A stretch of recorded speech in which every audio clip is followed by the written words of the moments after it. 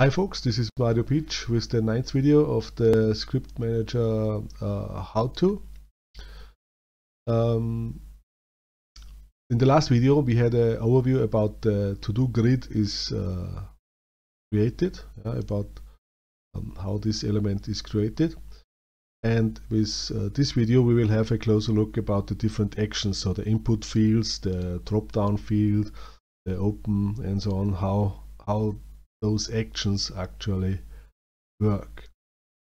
So to do this, um, we first have to have a view um, how the stuff uh, is used yeah, in the real use case. I wanted to have um, an overview of to-dos and with the overview I also wanted to have the possibility to create new to-dos uh, without the need uh, to actually open the existing scripts. Yeah? So I can add a new script um, and then I select a script, let's say my new my new script, which is this one, uh, then give it some comment, and then say OK. Uh, and as you can see, it shows up here. Now, what else happens if I create the same name of a to-do again? You can see changed here. Yeah? Um, if it is empty, there is an empty button which does nothing.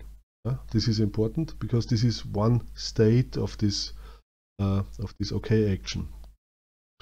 Then the second one is if it gets a new title, uh, which is a valid uh, to-do title, uh, it lets us create uh, the to-do.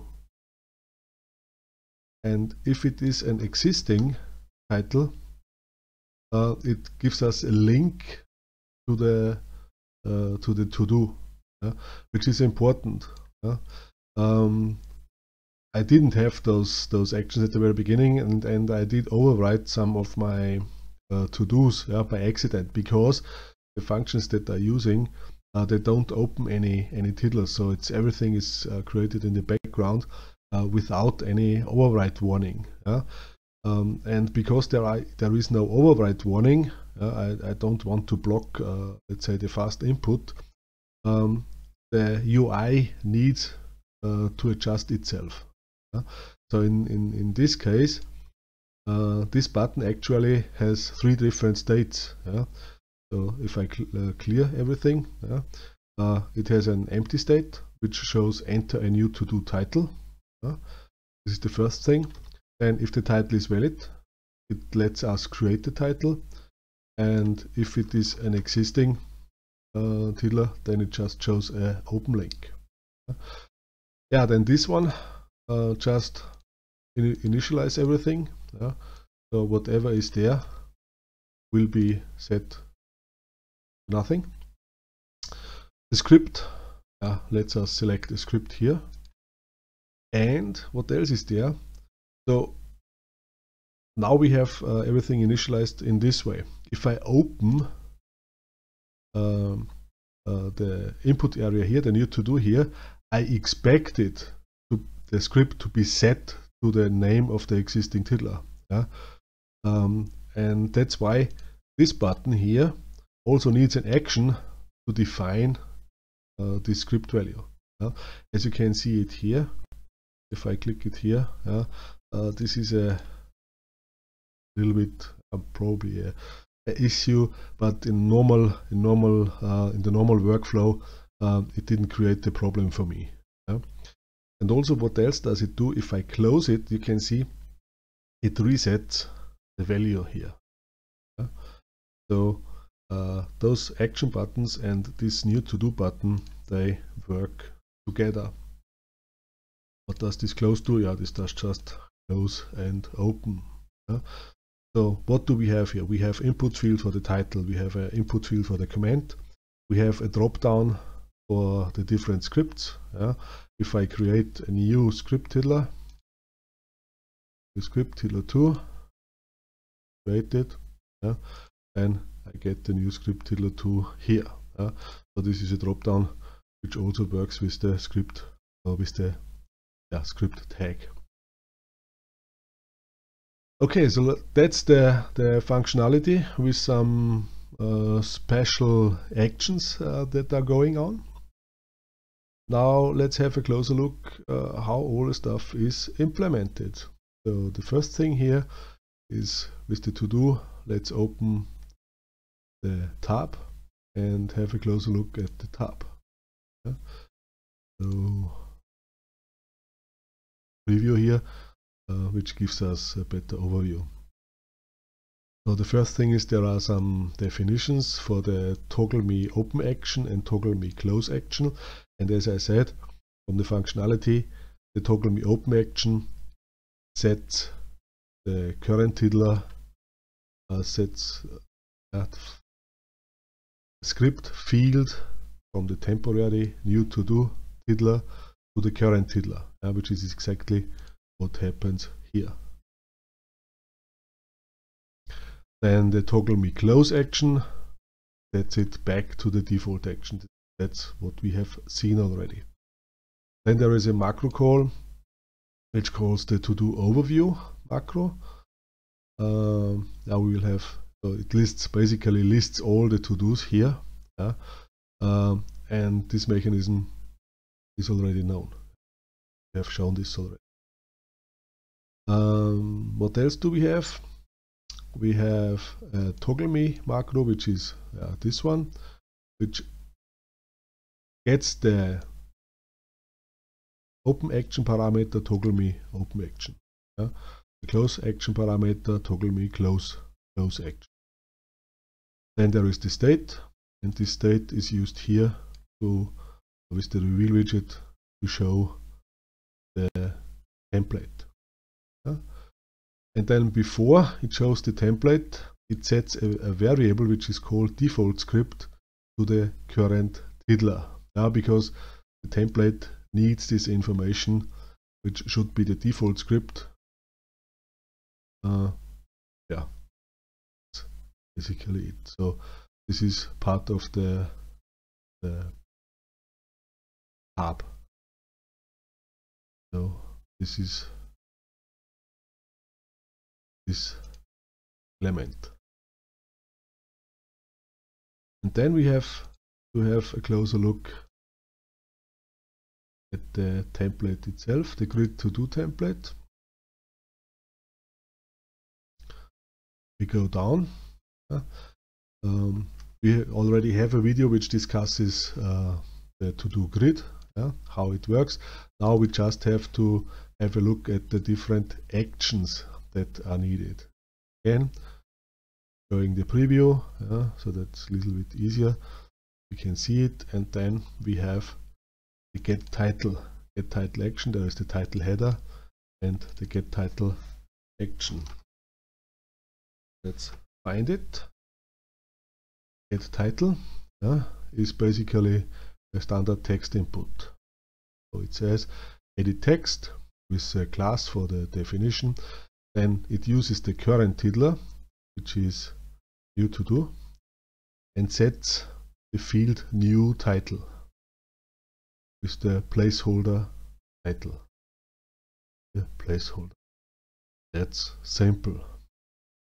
Then there is get script and write it.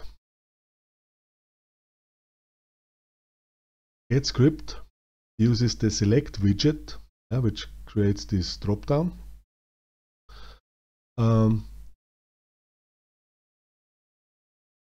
it uses or it creates a list with uh, filter tag script sort title yeah, and shows every tiddler that is tag scripted we have already. And then it has uh, the option and the option uh, uses the variable selected list, which is defined here. Yeah? The list item from the list widget creates a variable which is called selected list, and this selected list is used for the uh, for the value of the option here. Okay, what else does it do? Uh, get title, probably nothing. Yeah, so the current tiddler is new to do and it sets the script field of the new to-do tiddler. Yeah, depending depending on what we select. Then there is the get info. Get info is relatively simple. It just uh, toggles this information, yeah, open, close, and this, it gets the command text, and the command text just a text input. Uh, same, same as uh, the standard title. And find and the clear to do and clear to do as we as we know it uh, resets all uh, the definitions clear to do uh, uses a button um, it calls the action clear to do form and clear to do form uh, just deletes the tiddler because this is the easiest way uh, to remove to, rem to remove all the fields yeah? Uh, but because we we need this tiddler it immediately afterwards sets the field of the new to do uh, tiddler or it creates it again yeah? so it sets the text field to nothing and it sets the script field to the default script. Yeah? So depending on where it shows up, um, yeah, it creates the default or it sets the default um, value of the script field. So this is clear, clear to do. And then there is the this uh, the three state button, yeah, the create to do and create to do um, uses this trick uh, that we know from the uh, video number 7 already. Um, it checks the new to do new title and if this new title is an existing tiddler yeah, it creates the link to open this tiddler. Uh, it just says open uh, ASDF or what, what I have shown it to you before. If this tiddler doesn't exist, it shows the show create button. The show create button uses this trick again. Yeah, it has a look at the new to do plus checks if the new title field exists and if the new title field exists it actually uh, lets us record something. If the new title field doesn't exist, uh, it just calls the empty message and the empty message uh, goes to the empty button and the empty button does nothing. Yeah? So this is exactly like here. If you click it, it does nothing. Uh, but if something valid is here, yeah? so for example the A or Y or whatever, it lets us create. So record to do, record to do is here. Yeah? So it says action set field uh, use the new title, in this case praktisch the Y, yeah, and create the title named Y and set the comment field to the comment field of new to do. Then checks, uh, it um, sets a value, to do value for the tag. Then it gets the script value and sets it to the, to the script field then this is not uh, needed. I should uh, delete it. Yeah. Then it deletes the new to-do uh, tiddler, also the temporary tiddler. Then it deletes the state because this is here. Yeah. A new script. Yeah. So if we actually set something, if I say OK, it closes it. Uh, so uh, then only this new to do button is there. Uh, so that's why it closes the state. Yeah, so it deletes the state tiddler. And then because here the new to do tiddler is deleted, uh, it sets it again. Uh, so it creates the new tiddler again um, as we have done it before and sets it to the default value again. Yeah, and that's it.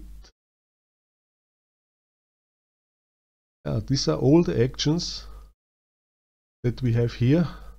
The important part for me was that to create um, a UI, uh, let's say with really works in the workflow. Yeah, so everything everything should be set in a way uh, as you expect it or as the user expe expects it. Yeah?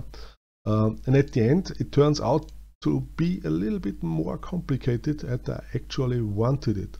But I didn't want any, uh, are you really sure to overwrite and, and so on. So I don't like pop-ups. So that's why the UI has to be a little bit more advanced.